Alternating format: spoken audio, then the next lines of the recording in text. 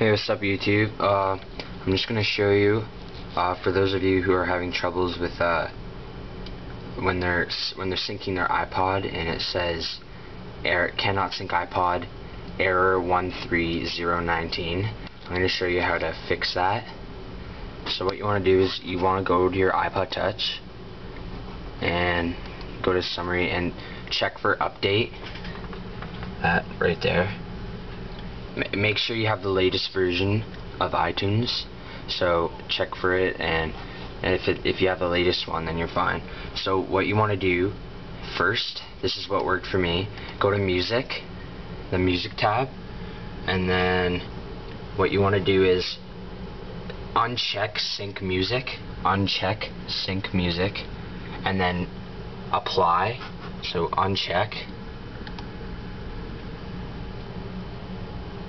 Are you, yeah, so once you do that, down there it'll say, I don't want to do it right now because I have a lot of music, but it'll say apply, so when you sync the music, when you when you uncheck that and sync it, your music will all be gone.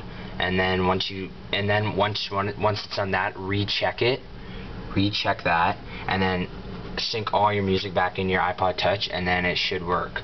It worked for me, so yeah. So give it a try. So make sure you uncheck it, then apply. Then when you're done that, check it back and then apply again, and it should be fine. Alright, thanks. So subscribe to my channel. Thanks. Uh, peace out.